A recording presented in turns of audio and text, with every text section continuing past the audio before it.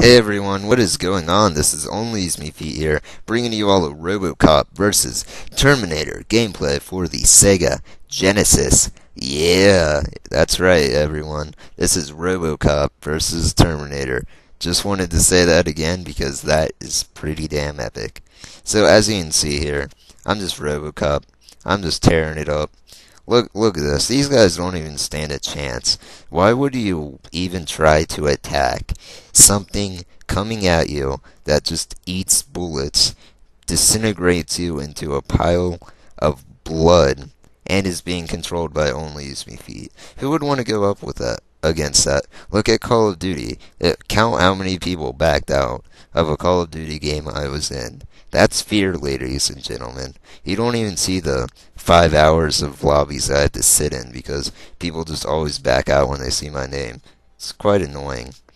But anyways, back to the gameplay here. RoboCop, he's a pretty cool guy. I mean, you can just see him tearing him, tearing it up here. Now, one thing I do kind of wish this game offered was the ability to play as the bad guys or the Terminator. Is that would just be really cool because the Terminators.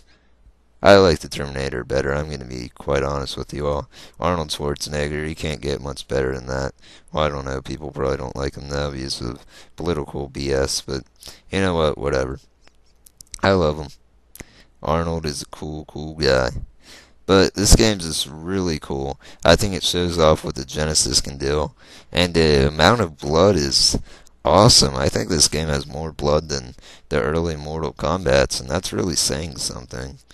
Um, but this is just one of the, I think, hidden gems of the 16-bit era. And I say that because this was also on the Super Nintendo, but that port did not have blood in it at all. So therefore, this port's a lot better. Yep. Yep, only blood. I mean that I mean look at this game and imagine it without blood. That's like that would be like if Call of Duty didn't have guns and you would just knife each other. Blade would be in heaven, but um yeah, that's pretty much what that would be like. You need blood in this game for it to be fun. And this game really is fun.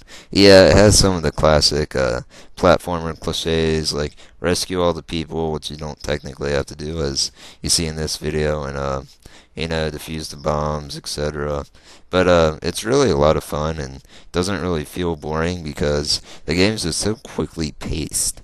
And uh, I think the frame rate might might have dipped a couple times in this video, but it runs perfectly if I didn't capture it. Um, anyways, though, this game, it's really cool, and I really do enjoy it.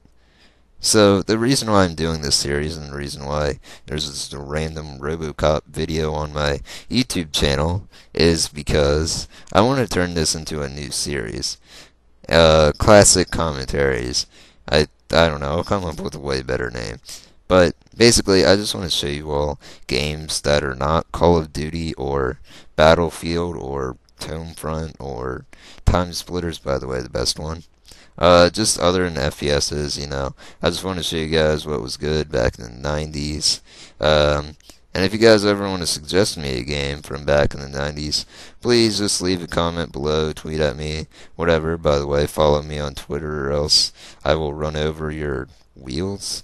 But, um, anyways, just tweet at me a game you want me to showcase on here. I got the next two games lined up after this one, so you guys won't get any input for a couple videos, but I do want to turn this into a common thing. And uh, overall, just show you guys that, hey, you know what? Games back then were a lot of fun too. And maybe we should look back and get some of those old gaming consoles to play gems like these. So anyway, that's the end of this video, everyone. You can see my tally being tallied now. And uh, you can see I just own the Terminator there by sheer power. But anyways, this is only me feet saying, look ma, no hands. Later.